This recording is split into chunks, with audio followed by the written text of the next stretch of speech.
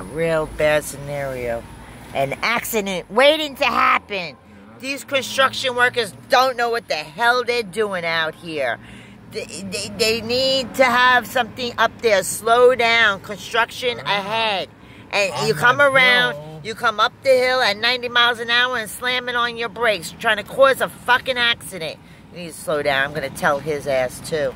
This is uh, enough is enough. I'm taking my life into my own fucking hands out here. Look, come up right up on him. Right up on him. Slow down. Man, you need somebody up on that hill before an accident happens. Yeah, slow the fuck down.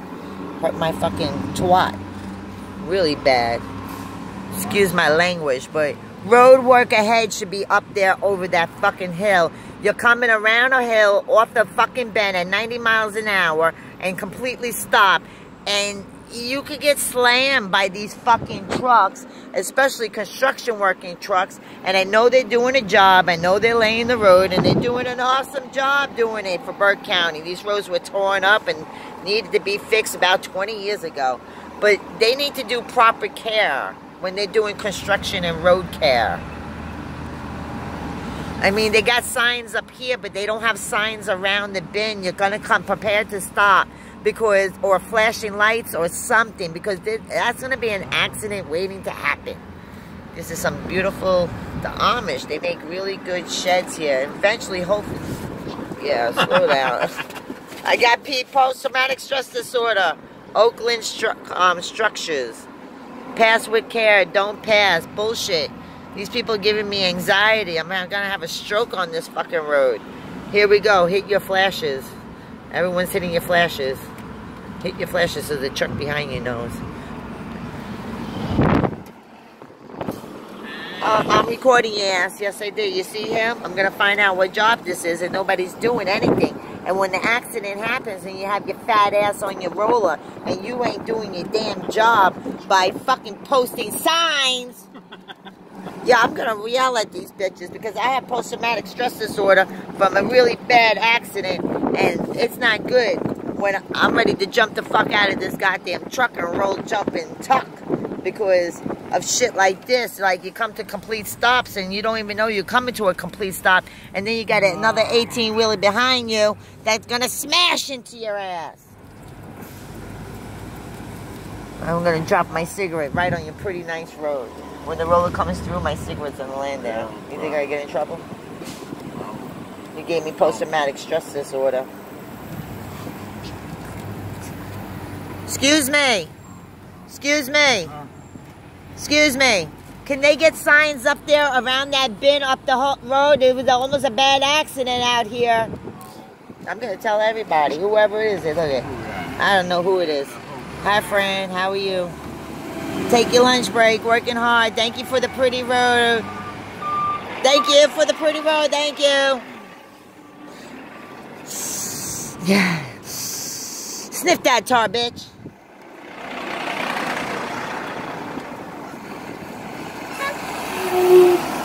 Thank you. Now he hollering. the supervisor's down there in these fucking trucks, man. Yeah, I'm recording their asses. It is the wood company, and that's all it says, wood. They're smoking a lot of wood, a lot of 420 wood, for sure. It's an undercover sign for wood.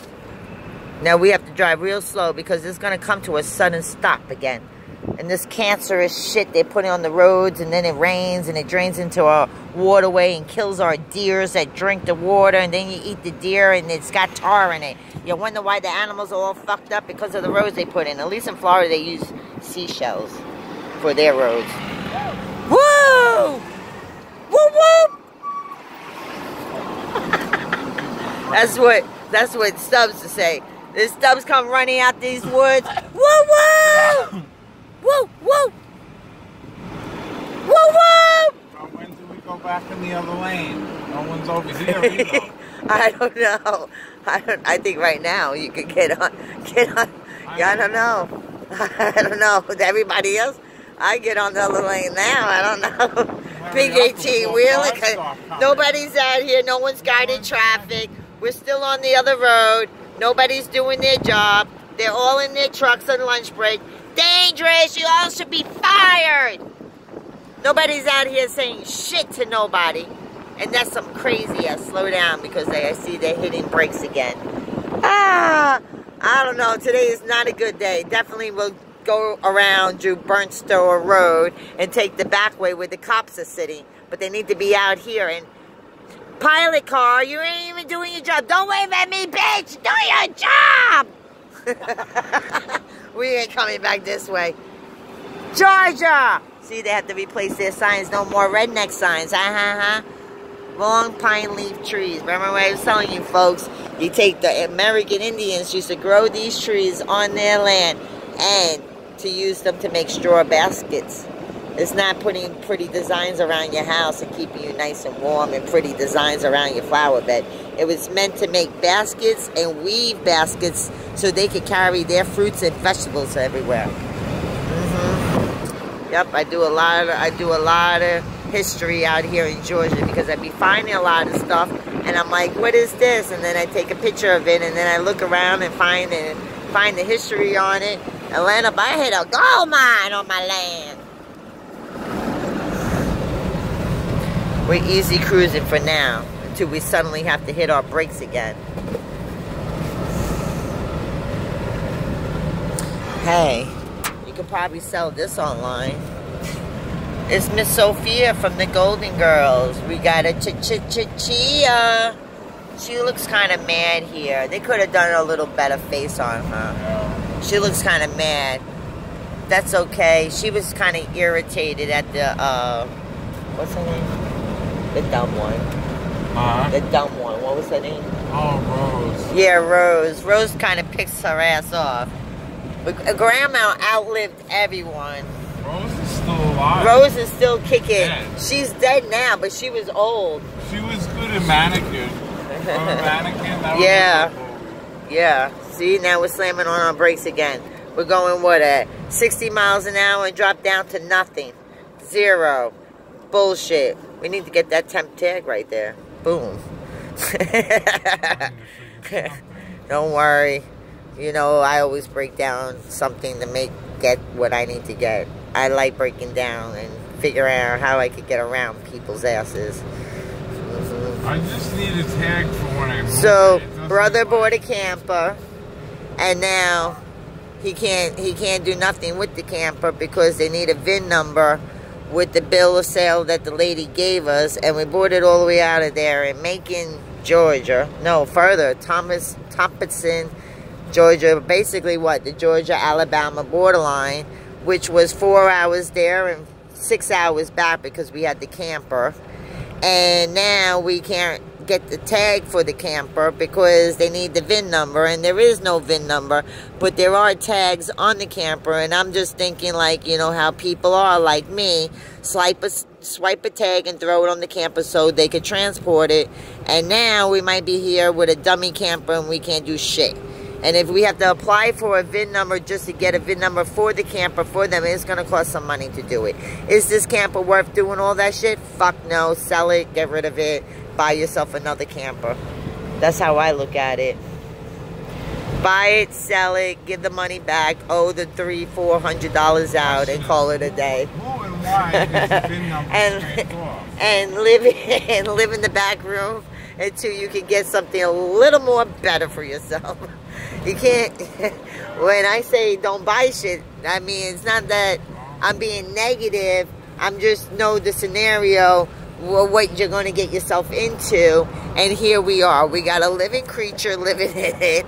I think it's a snake crawled up in there. I do see a lot of evidence of mice in there, which is normal for campers, especially if you're not taking care of it. It's from 19 what? 1972, two years older than me, so it's 47 years old. Oh. So, hello, I'm 74, it's 72, that's 47 years old. Wow. Two years, yeah. Uh, I'm really surprised it made it from all the way there to Midville with no pocket problems. And to the deer at 80 miles an hour. I was really surprised the tires didn't fucking blow out. The tires are probably better because it's older. I don't know. And um, you're gonna have to slow down because you're gonna be making uh, in like 10 minutes uh, a right hand Oh turn. my god, he's going up the Don't start.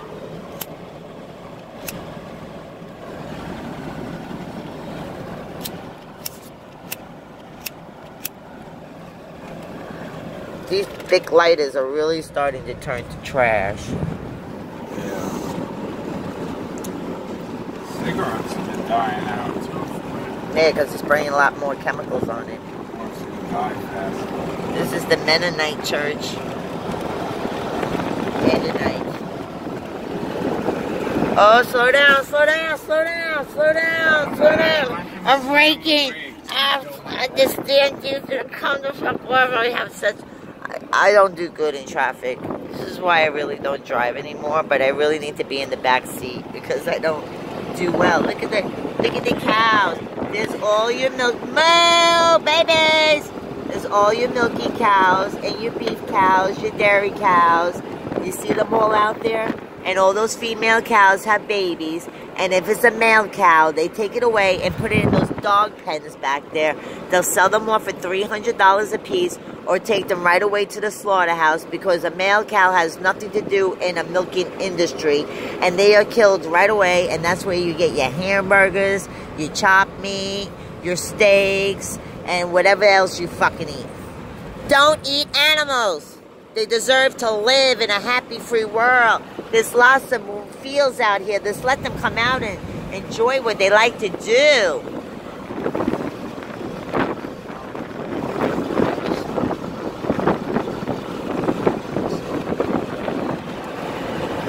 Stresses of life.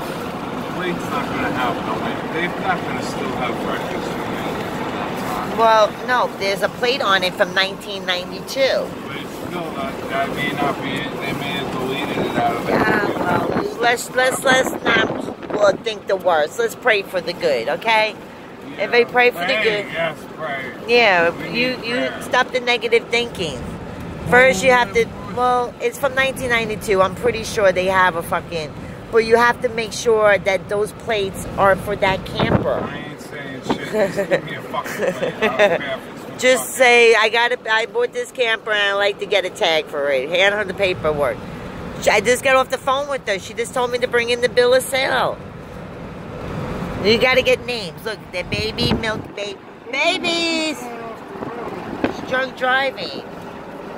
They're drunk drivers. She's smoking her dope and popping her pills. They do, and they have no insurance. They got a temporary plate. What do you know?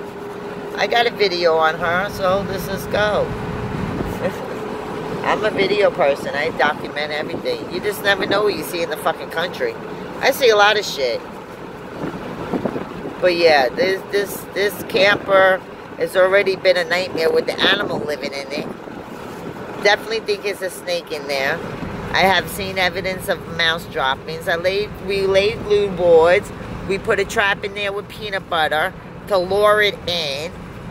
It might not. I mean, it might not be there. It might not come. It might not be able to come out. I don't know. Maybe it's stuck in there. I don't. I have no idea.